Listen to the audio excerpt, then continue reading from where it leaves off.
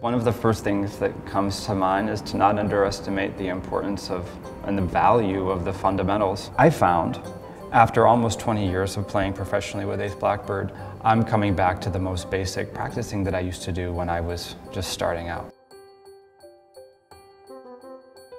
I thought when I was young that I would feel and attain this sense of mastery and command over my craft. No, there was no point and there will never be any point at which that is the case. There's something about being a professional that's sheerly about confidence that um, as a student I really didn't have, but that I've developed actually by being a professional.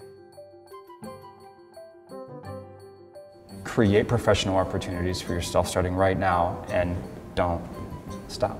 Starting now, today, think about what you would like to do as a performer in the world what would you be doing? Find a way to do that now, even though maybe you're just a student and you're studying.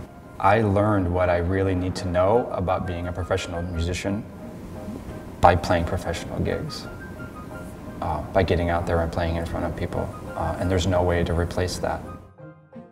You should feel free to make more mistakes. You should try so many different things and you should fail at most of them and by doing that, you'll find your way forward.